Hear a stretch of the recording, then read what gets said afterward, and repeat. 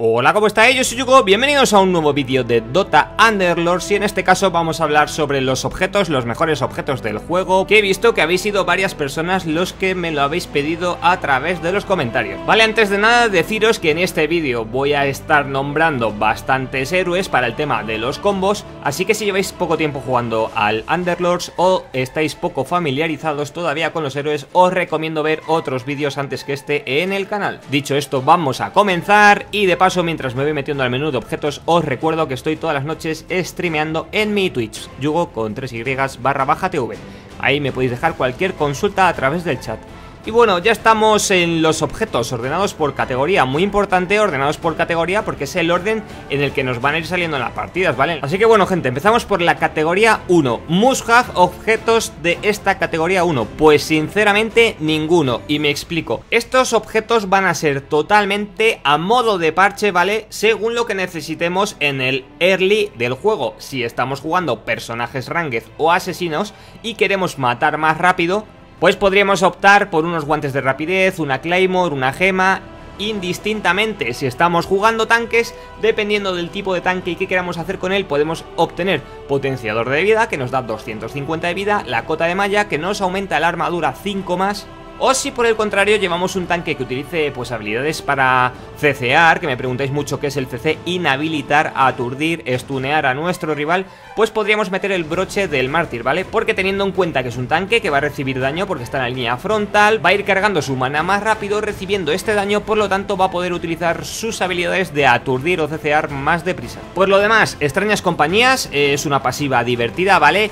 que bufa la combinación de cazadores con demonios, pero como ya he dicho en otros vídeos, nos tiene que salir muy perfecto los rolls de cazadores y demonios para que seamos competitivos en rangos altos con esta build, porque son alianzas que no están en el meta actualmente. Lo mismo ocurre con el reactor inestable de inventores, ¿vale? Los inventores eh, no es lo mejorcito que hay en este momento, tenemos muchas mejores opciones, así que tenemos que tener muy buena suerte con los picks. Y succionador de almas, bueno, la podemos convear en cierta manera con los magos, pero como ya digo, la primera ronda es sobre todo para parchear, para rellenar pues esos puntos débiles o esas cadencias que podamos tener, así que nada importante de momento en la categoría 1, piquear de forma inteligente y a gusto. Categoría 2. Aquí ya cambia muchísimo la cosa. Aquí ya se ven objetos tochetes, así como pasivas, porque afectan a tipos de alianzas que sí que se ven mucho en el competitivo a niveles altos y que forman parte del meta del juego.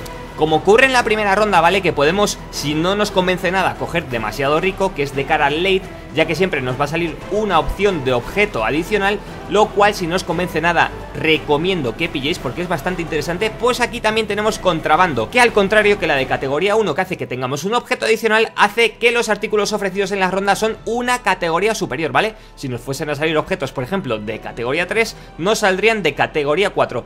También está enfocado al late game, pero ojito porque es muy interesante. Vamos ahora con las pasivas must have, si desde luego vamos a jugar ese tipo de unidades, ese tipo de alianzas que serían imparables, yo creo que es la mejor pasiva de esta categoría. Los guerreros sobreviven durante dos segundos adicionales después de recibir un golpe mortal, así que siguen en tablero, siguen golpeando, siguen tirando habilidades muy importante y muy útil esta habilidad, gente, si vais a juntar muchos guerreros. Cuanto más guerreros tengáis, más os vais a beneficiar de esta pasiva. Forjado en batalla, ¿vale? No es tan tocha como imparable, pero también me gusta, funciona muy bien con las unidades fornidas. Tenemos el Beastmaster, tenemos el Axe, y luego tenemos Juggernaut y Disruptor, que también son fornidos, no se juegan tanto, pero por ejemplo, eh, para el Axe o el Beastmaster, que se utilizan desde el principio, lo que va a hacer es que por cada víctima que hayan generado, por cada baja que hayan provocado en todo el juego, ¿vale? A lo largo de todas las partidas, van a comenzar las rondas siempre con 50 más de vida máxima.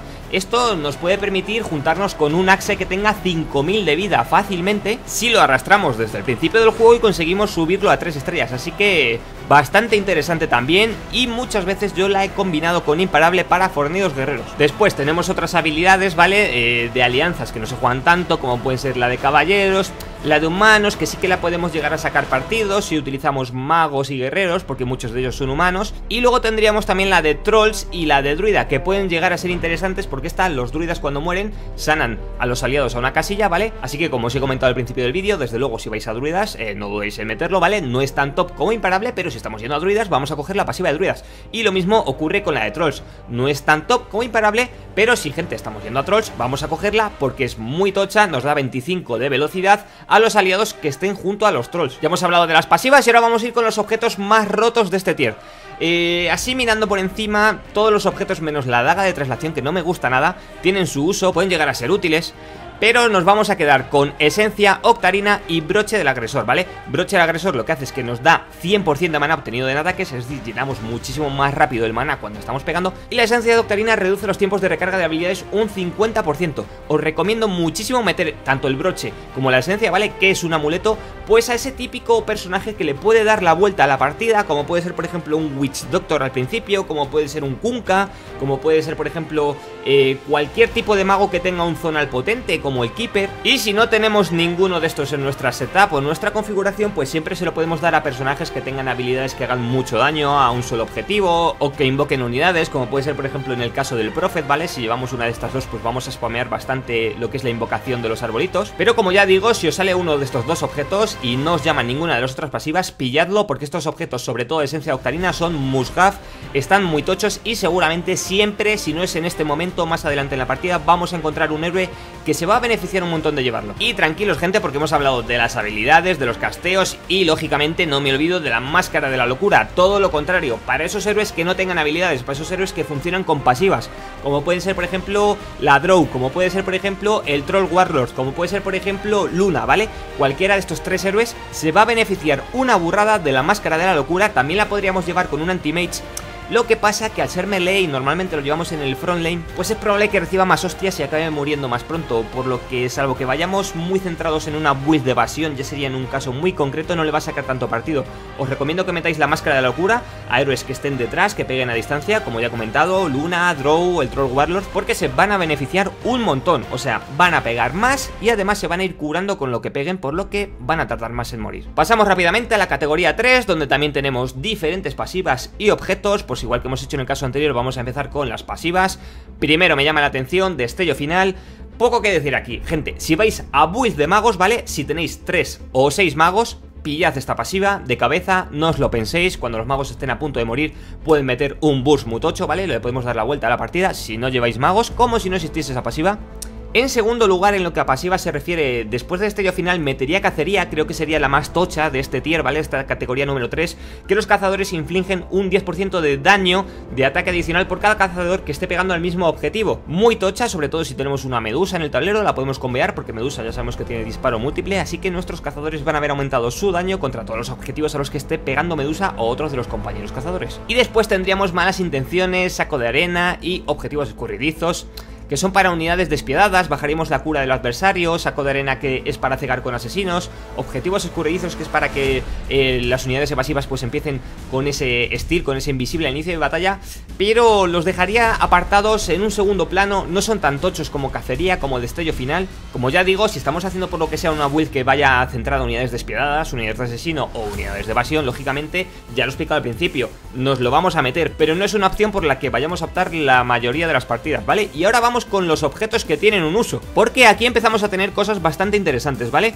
Eh, mi objeto favorito para tanques de esta categoría número 3 sería lógicamente Vanguardia. Me parece un objeto muy roto, 250 de vida, 50% de probabilidades de parar 70 de daño al ser atacado. Todavía en categoría 3, si la conseguimos sacar bastante pronto Nos vamos a estar enfrentando pues a héroes de una o dos estrellas.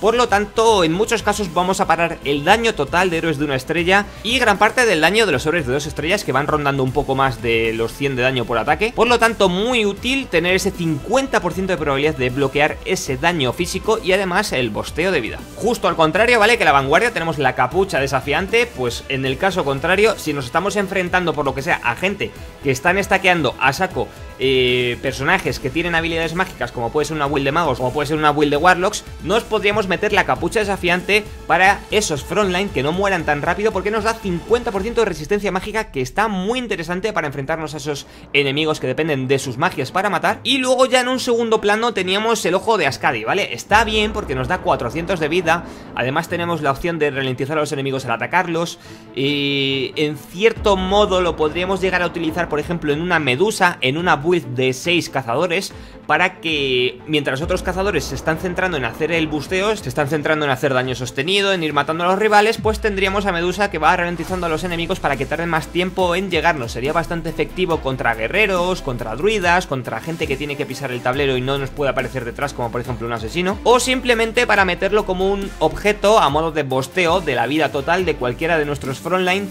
en caso de que no nos haya salido el vanguardia, hayamos tenido mala suerte, pues bueno, eh, como segunda opción está bastante bien, pero siempre que os salga en conjunto, ojo de Ascadi con vanguardia y estéis buscando un objeto de tanqueo, de verdad gente, optemos por vanguardia. Y por último vamos ahora con los objetos de daño en este tier 3, ¿vale? Eh, hay varios objetos que es que ni voy a mencionar, ni objetos ni pasivas, porque es que no valen para nada, sinceramente, gente. Sí que es cierto que en el caso de que nos salgan cosas muy malas para elegir, como por ejemplo, imaginad que nos sale un mecanismo, contar los cuerpos, y el único objeto pasiva así que nos puede salir interesante sea una clase superior, podríamos optar por coger esta habilidad porque las unidades de la tienda se ofrecen como si estuviésemos un nivel más arriba. Ya digo que en una progresión normal de partida no vamos a necesitar esta pasiva, pero no os voy a engañar, en algunas ocasiones la he jugado y lógicamente si el resto de opciones son una mierda nos tiramos a por esta.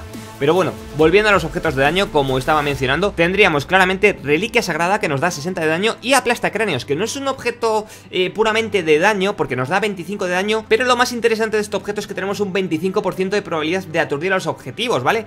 Eh, ¿A qué héroes le podríamos meter el Aplasta cráneos para que fuese muchísimo más útil. Lógicamente lo podemos meter a cualquier tipo de héroe que tenga objetivos múltiples al atacar, podría ser una medusa, podría ser una luna y por supuesto cualquier héroe que pegue a una velocidad muy rápida, podemos encontrar dentro de este tipo a los trolls, el troll warlord pega rapidísimo, se va bufando, tenemos también al asesino Slark, se lo podríamos meter a un sniper y lo mismo con la reliquia sagrada, siempre va a sacar más partido de este objeto gente, eh, pues unidades que tengamos atrás escondidas que no vayan a morir tan rápido, que peguen muy rápido, fijaos muchísimo en la velocidad de ataque porque esto lo que está haciendo es que nos da 60 de ataque, es decir, cuanto más rápido hagan los ataques nuestro héroe, más se va a beneficiar, lo mismo también si tiene golpe múltiple como Luna o Medusa. Poco más que decir, vamos rápidamente a la categoría número 4 y aquí aunque eh, prácticamente ya todo es bueno, sí que podemos separar notablemente lo que sería más tocho sin ninguna duda, si tuviese que quedarme con 4 o 5 objetos, uno de ellos iba a ser Dédalo, muy útil si estamos jugando cazadores, si estamos jugando asesinos, pues suponed que tenemos por ejemplo el de tier 3, Reliquia Sagrada, que nos ha salido, lo teníamos a nuestro personaje principal de hacer daño y ahora obtenemos Dédalo, pues lógicamente le quitaríamos la reliquia y le meteríamos Dédalo. Exactamente lo pueden utilizar los mismos tipos de héroes, ¿vale? Aquellos que pegan rápido, aquellos que son nuestra principal fuente de daño dentro del equipo. De aquí arriba no hay nada que me interese mucho más. Tenemos el Maestro, que también me gusta bastante, no está a la altura de Dédalo, pero me gusta bastante, lo suelo meter cuando me sale y no hay otra cosa mejor, pues esos héroes que tienen una velocidad de ataque rápida o que pegan a múltiples objetivos. Y luego tendríamos aquí abajo tres objetos muy top, ¿vale? Cada uno de ellos enfocado a una situación diferente. Tenemos primero, por ejemplo, el resplandor, que lo que hace es que quema a los enemigos situados a dos casillas con 60 de daño por segundo. Si le metemos esto a uno de nuestros tanques, de esos que tenemos en el frontline, de esos que aguantan hasta el final de la partida, que no suelen morir con nada, es muy interesante porque aparte de tener ese tanque ahí a modo de carnaza, recibiendo hostias como panes, vamos haciendo mucho daño, mucho daño digo, porque es a los enemigos situados a dos casillas, la mayoría de es a enemigos adyacentes situados a una casilla, este llega a dos casillas y son 60 de daño por segundo para nada despreciables, ¿vale? Por otro lado tendríamos, voy a dejar el más tocho para el final, por otro lado tendríamos Vara del Rey Negro, habilidad muy útil, por ejemplo, cuando tenemos ese personaje que necesitamos que tire una habilidad para darle la vuelta a una partida y siempre se nos muere por culpa de la magia cuando nos estamos enfrentando a toda esa gente que lleva la build de magos. Y tenemos un frontline que siempre estamos diciendo, joder, si este tanque me hubiese vivido un segundo más, hubiese tirado todo lo que tengo detrás con el DPS, o si este caster me hubiese aguantado un segundo más, le hubiese dado tiempo de cargar su habilidad y hacer el daño a todo el tablero. Para esos casos, gente, tenemos la vara del rey negro, contear muy bien las builds de magos, de hecho, si ya veis dos personas que están dominando la partida con build de magos, tenéis que ir de cabeza a por esta vara y meterla a ese héroe que necesitéis que sobreviva a la batalla sí o sí para darle la vuelta a la partida. Vale, por último vamos a por el orbe revigorizante, si recordáis los objetos que hemos estado mencionando cuando estábamos aquí arriba en la categoría 2, esencia de octarina y broche del agresor que los queríamos para cargar más rápido nuestras habilidades, sobre todo de control de masas, de un Witch Doctor, de un Kunka, de un Tide Hunter. Pues ahora tenemos la versión tocha, ¿vale? No lo vamos a cargar más rápido, pero sí que nos actualiza los tiempos de recarga y restaura un 50 de mana después de usar una habilidad, una vez por batalla.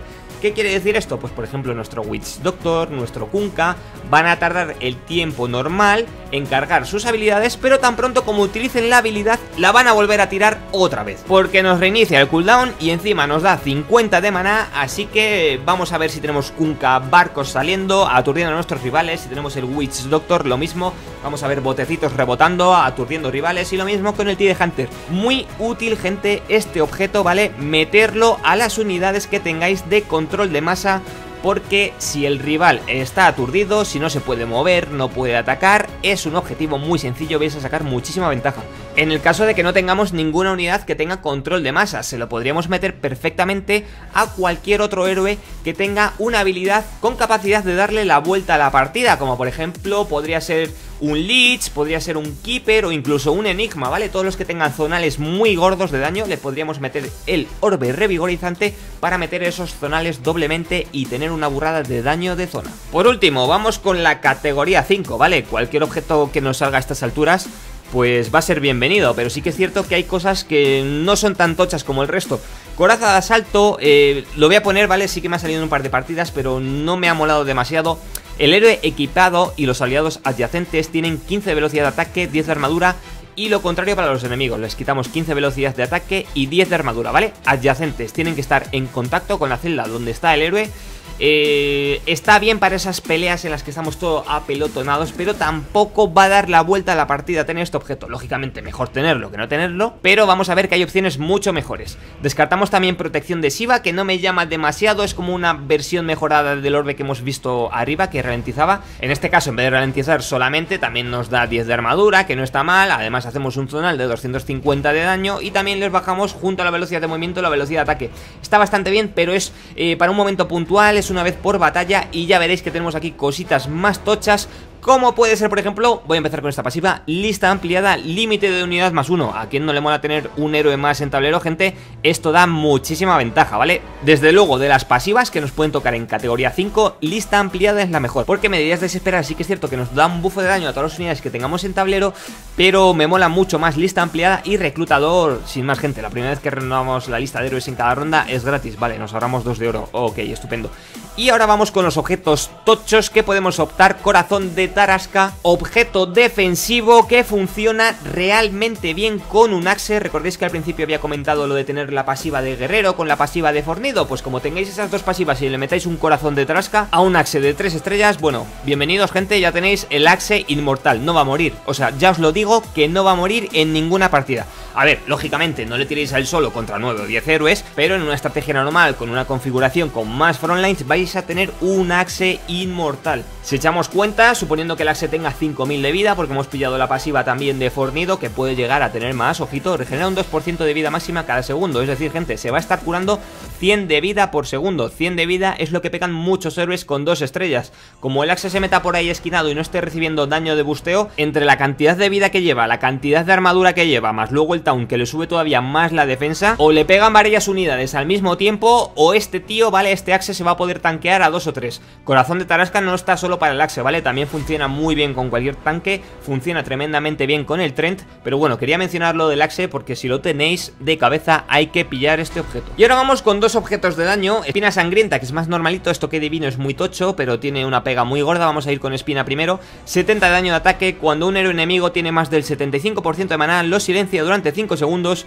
los ataques contra el héroe silenciado no pueden fallar e infligen 140% de daño crítico. 10 segundos de recarga, ¿vale? Así que no es un solo uso, cada 10 segundos vamos a poder ir silenciando un caster a medida que vayan subiendo su barra de maná. Está bastante guay este objeto, ¿vale? Para contear magos y sobre todo va a funcionar mejor con un sniper o con cualquier cazador que pegue a distancia porque silenciamos a nuestro objetivo y tenemos la posibilidad de pegarle para hacerle más daño. En un melee también estaría bien, lógicamente pero imaginad que silenciamos al mago que está en la esquina, protegido por todo el resto de héroes, pues nuestro personaje no va a poder llegar a pegarle, así que ya digo que funciona muchísimo mejor en un cazador, vamos silenciando y vamos matando. Y por último vamos con el estoque divino, 330 de daño de ataque, gente, madre mía, si con esto ya no ganamos, es que hemos construido una configuración eh, que tiene problemas, tiene problemas esa configuración y no funciona, no funciona, porque 330 de daño, si se lo metemos a nuestro DPS clave, va a ir desintegrando todo lo que se le ponga por delante. O sea, un Troll Warlord con 3 estrellas, por ejemplo, con esto yo no me lo quiero imaginar. También la mayoría de asesinos funcionarían muy bien con esto. Un Templar Assassin